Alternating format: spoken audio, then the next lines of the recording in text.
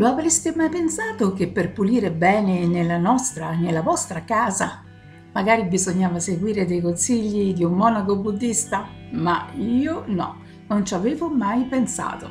Eppure è così. Ci sono sette consigli di un monaco buddista per fare pulizia nella maniera giusta nelle nostre case. Se cerchi sempre di mettere insieme tutte le tue energie per iniziare a fare le pulizie nella tua casa, però trovi sempre qualcosa di meglio da fare, allora questi consigli del monaco buddista fanno proprio per te. Sembra che i monaci buddisti eh, diano alla pulizia della casa un significato molto profondo che potrebbe essere d'aiuto per tutti quanti noi. Fare i lavori domestici come i monaci buddisti non è difficile, al contrario può risultare anche molto divertente. Infatti se vogliamo purificare la nostra anima senza muoverci da casa, possiamo farlo trasformando le pulizie in esercizi spirituali. Quindi pulizia della casa con pulizia dell'anima, un ottimo abbinamento.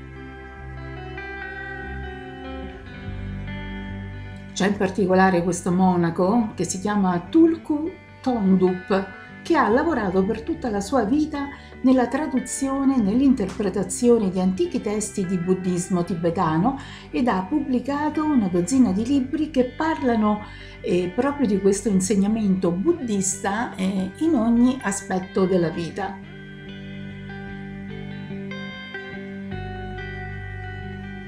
Questo monaco, dopo aver vissuto in Tibet, poi stato negli Stati Uniti dove ha partecipato a varie accademie e attualmente si trova in ritiro presso un monastero, dal quale però gestisce un web, sembra che abbia detto che per l'uomo e anche per lui stesso pulire il monastero sia uno dei compiti spirituali più importanti.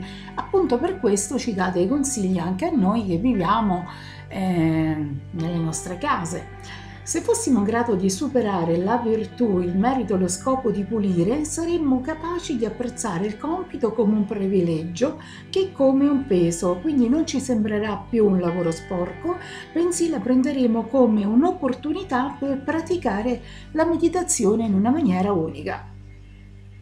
Tutto ciò potrebbe essere una fonte incredibile di benefici ed un modo per far crescere la nostra forza spirituale, mentale ed emotiva.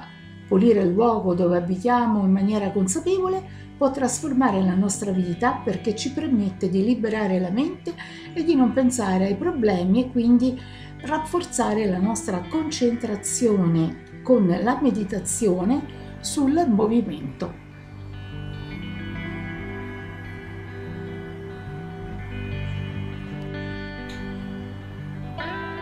Questo spazio sacro che ci dà così tanto ha delle necessità però che a volte trascuriamo, soprattutto per via dei mille impegni quotidiani.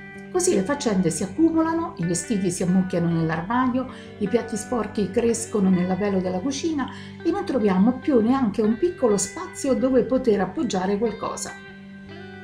A questo punto la casa cessa di essere un rifugio per diventare un luogo che genera stress ed infelicità quindi ci diventa un peso fisico, mentale e spirituale.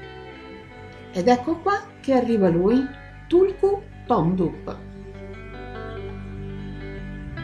Eccoli qua i suoi consigli. Chi non si prende cura degli oggetti non si prende cura nemmeno delle persone.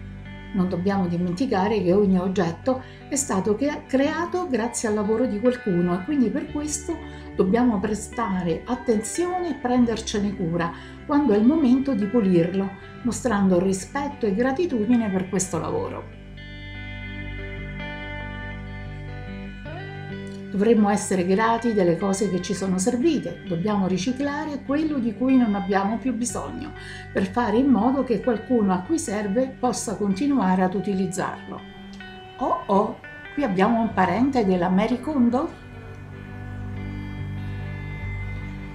Terzo consiglio, se cominciamo quando c'è silenzio, circondati dalla calma, quando ancora la vegetazione e le persone nei dintorni stanno dormendo, il nostro cuore si sentirà in pace e la nostra mente limpida. È per questo motivo che dovremmo cominciare a pulire durante le prime ore della giornata, mentre prima di dormire dovremmo limitarci solamente a riordinare un po' per agevolare il lavoro del mattino successivo. Il quarto consiglio, dobbiamo aprire le finestre e lasciare che circoli l'aria per tutta la casa prima di cominciare a pulire.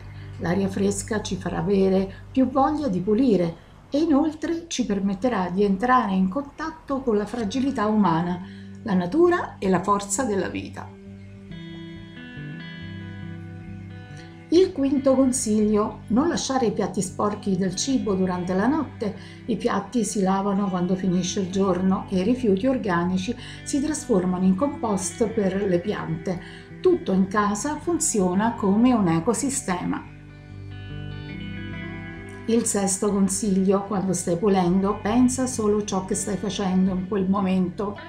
Evita che la tua mente divaghi o che si concentri su altre cose. Mantieni la tua attenzione sul qui ed ora del compito che stai svolgendo.